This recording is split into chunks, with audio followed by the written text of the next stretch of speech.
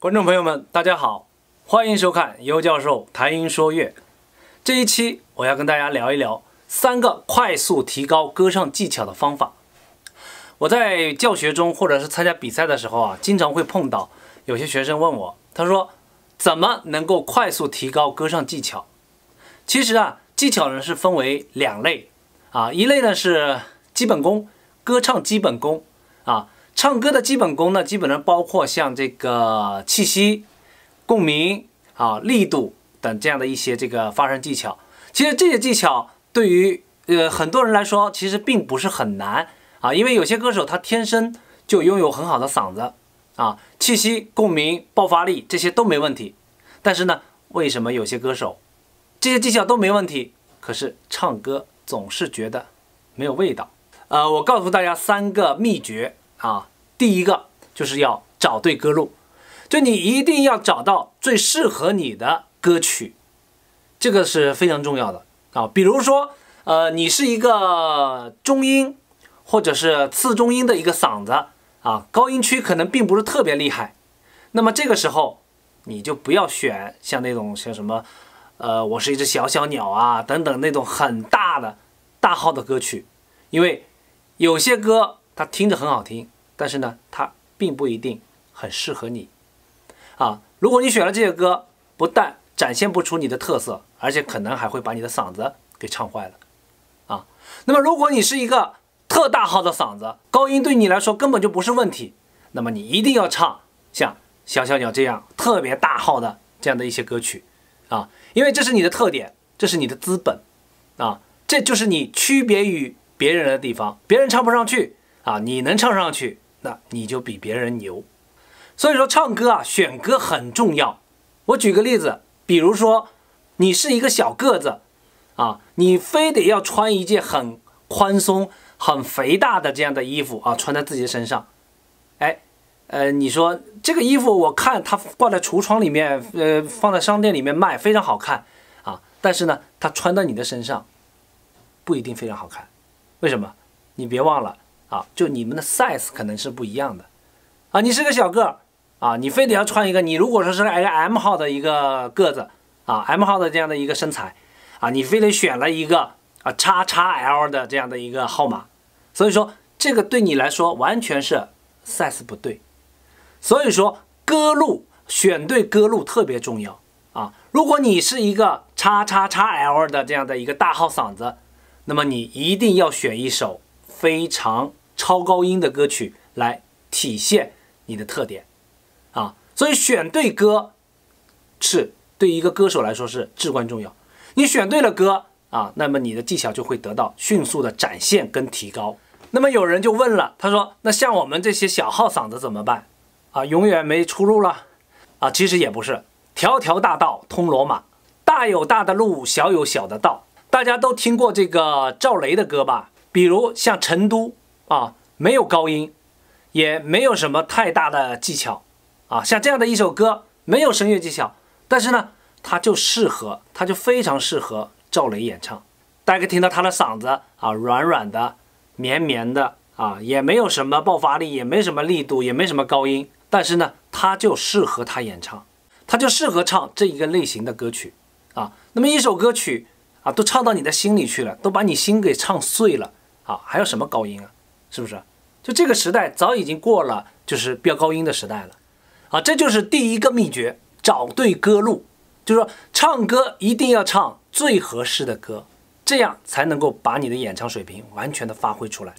第二个就是要学会修饰，我们平时在演唱中使用的声音，一般情况都是最基本的声音，即便你用了很好的共鸣和气息，但是呢。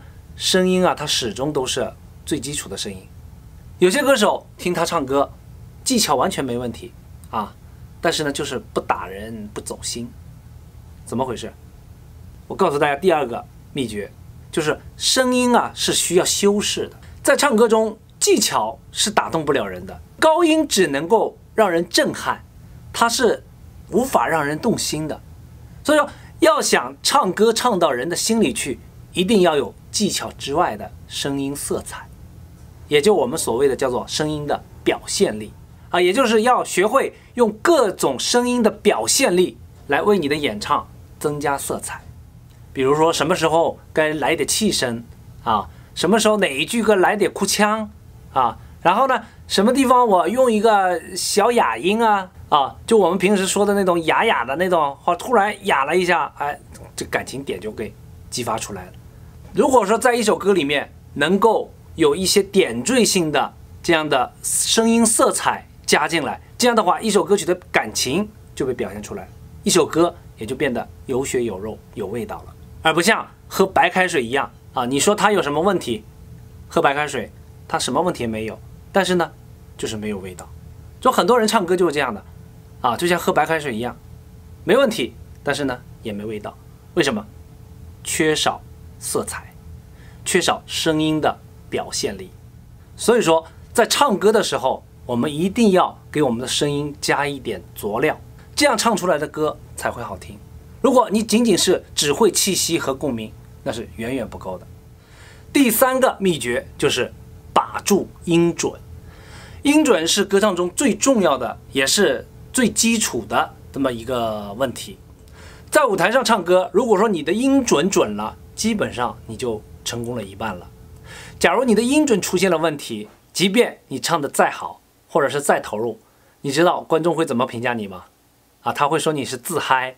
啊，跑调都跑成这样了，自己还那么投入呢。所以说，要想成为一名职业歌手，再没有什么也不能没有音准。那么音准怎么把握啊？一般情况下呢，我们基本的音准，一般的人、一般的歌手，基本的音准其实是没什么大的问题啊。但是你如果说站在舞台上唱歌，那么很多问题就会来，因为舞台，呃，他会碰到很多情况。啊，如果说大的舞台，你声音如果说出去了以后，哦返回来你要听不到了，那么音准就出现了。啊，由于很多时候你演出的时候，因为你听不准，啊，由于这个现场的环境导致的，就是你听不准音准，所以会导致你对这个音准的，就是你唱的音或者你听到了伴奏，啊，对你的这个听到的东西听不准了，你就会判断就会失误，判断一失误啊，你唱出来的东西到底准或不准，那么就没法判断了。所以这个有时候就会造成这个音准上出现问题，甚至会出现跑调。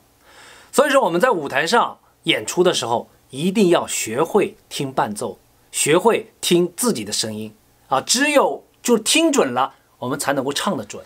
当然啊，我们要想在唱歌的时候音准听得特别准，非常准确啊，这个是需要进行专业训练的啊。我平时上课的时候呢，经常会让学生在录音棚里面，比如戴上耳机啊。用电容话筒把它的声音呢放大无数倍，啊，大家知道在录音棚里面的这个话筒啊，比我们平时这个演出时候的这个话筒灵敏度要高，啊，它把你的声音放大了很多很多倍，你的细节都会被放大，你一点点不准，它都会这个给显示出来。